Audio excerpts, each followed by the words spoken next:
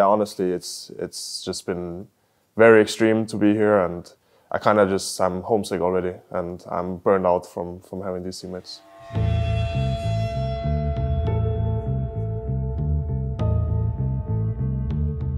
So my teammates, um, they're really a pain in the ass. They are we are, have a team full of weebs, and as you guys might know, I don't really like weebs. I don't really like anime at all. The worst, the worst part of the team is probably Jankos. You almost couldn't couldn't breathe the fresh air in here because he was just taking up all of it.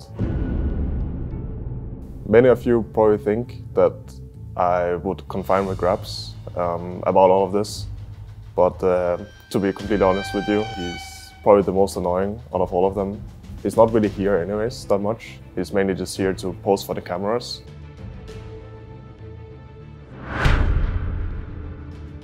Uh, sometimes my teammates gets like a, a tick and then they have to start singing. Zombie, zombie, zombie. Heard a lot of you guys saying that you wish for me to, to sing and whatnot. Uh, what it would really take me to actually sing is uh, a lot of drinks and then also you guys to go to g2esports.com shop and buy some of the merch.